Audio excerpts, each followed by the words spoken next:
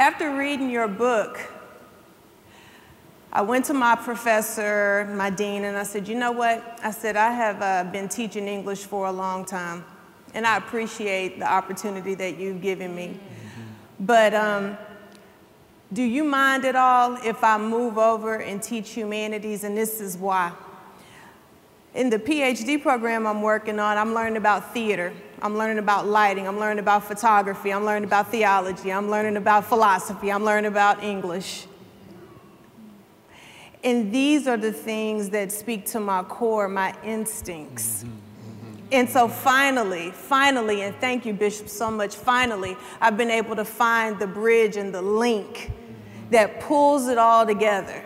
Yes. And I feel alive and renewed and refreshed. Yes. And I'm not as busy as I used to yes. be. And I can love on my husband a little bit more and appreciate my kids. and it's just. He got happy off of that.